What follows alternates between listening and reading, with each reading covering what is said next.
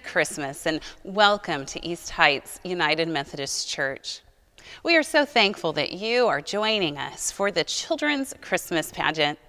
And we pray that the love, hope, joy, and peace of Christmas will rest upon your hearts as you hear once again the story of the coming of Christ shared by our children. Let's listen.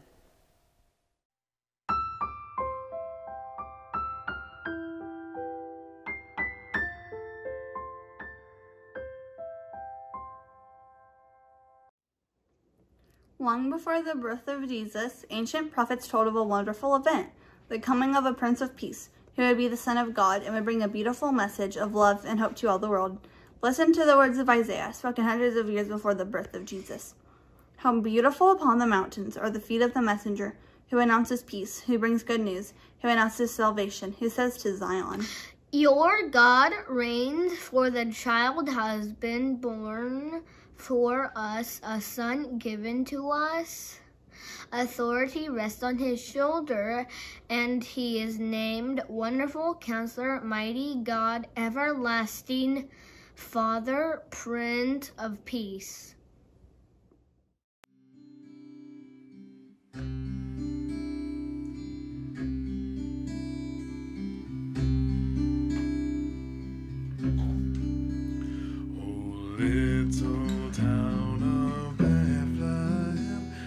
Still we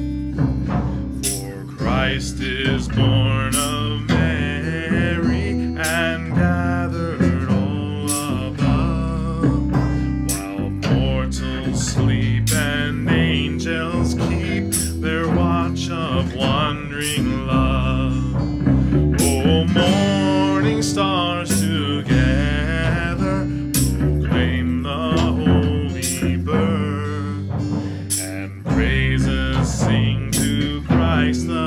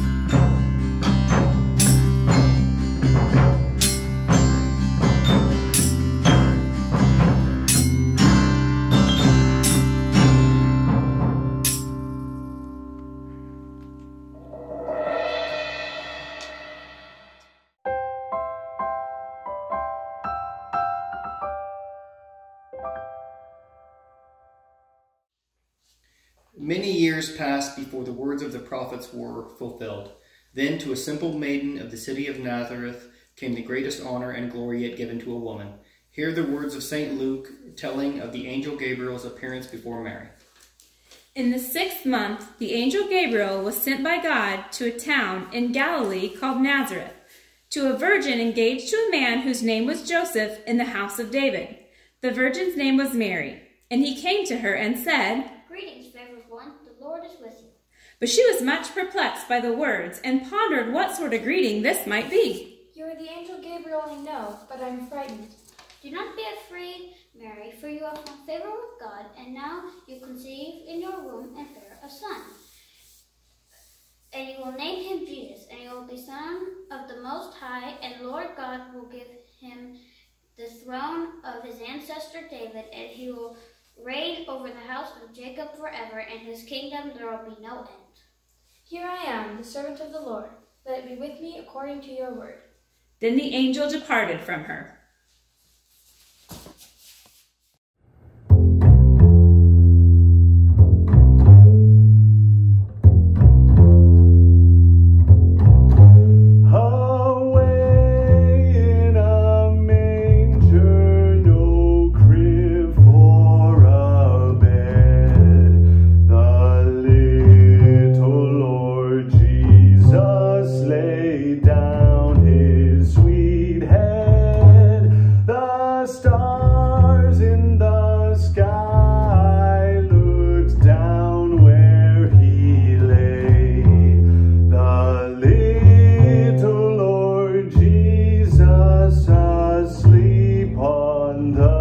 The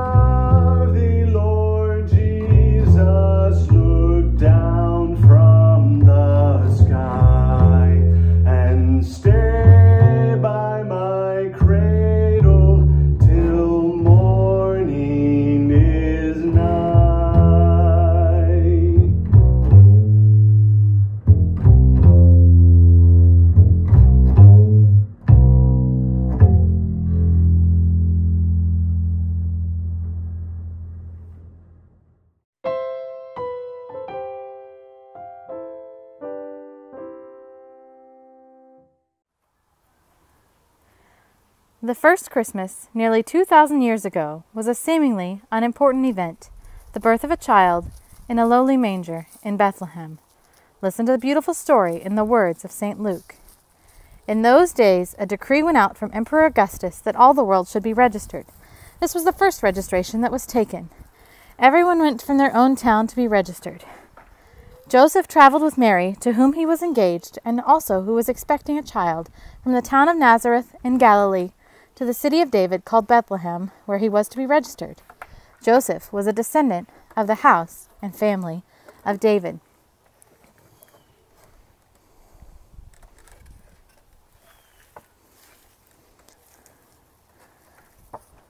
While they were there, the time came for her to deliver her child, and she gave birth to her firstborn son, and wrapped him in bands of cloth, and laid him in the manger, because there was no room for them in the inn.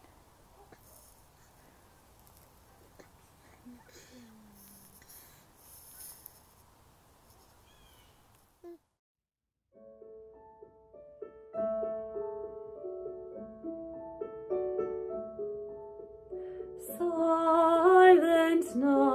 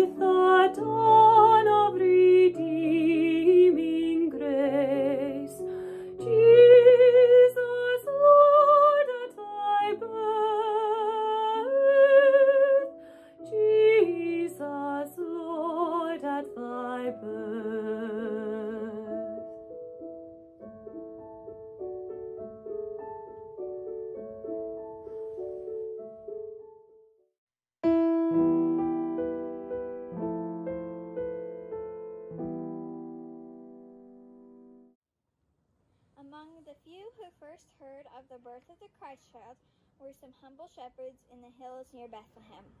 In the region there were shepherds living in the fields, keeping watch over their flocks by night.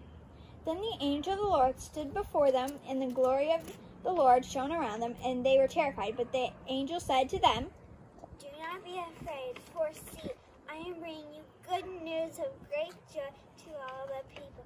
To you is born this day in the city of David a Savior, who is the Messiah, the Lord. This will be a sign to you. You will find a child wrapped in bands of cloth and lying in a manger.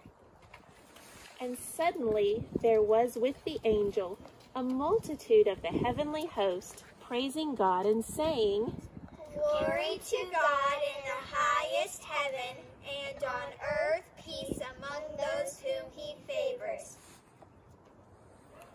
Let us go to Bethlehem now, see this thing that has taken place, which the Lord has made known to us. So they went with haste and found Mary and Joseph and the child lying in the manger. When they saw this, they made it known what had been told to them about this child, and all who heard it were amazed at what the shepherds told them.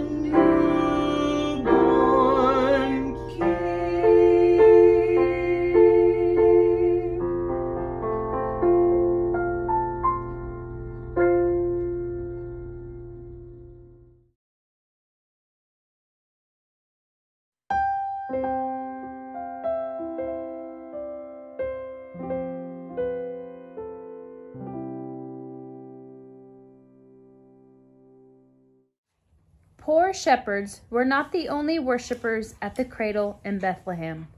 Great kings also came, bearing fine gifts. In the time of King Herod, after Jesus was born in Bethlehem of Judea, wise men from the east came to Jerusalem, asking, Where is the child that is born the King of Jews? Yes, and we observed his star at its rising. Let us welcome the king. The three kings then sent out, guided by a magnificent star that shone brightly above the stable. When they finally arrived, they were overwhelmed with joy. Upon entering the stable, they saw the child with Mary, his mother. They knelt in praise. Then, opening their treasure chests, they offered him gifts of gold, frankincense, and myrrh.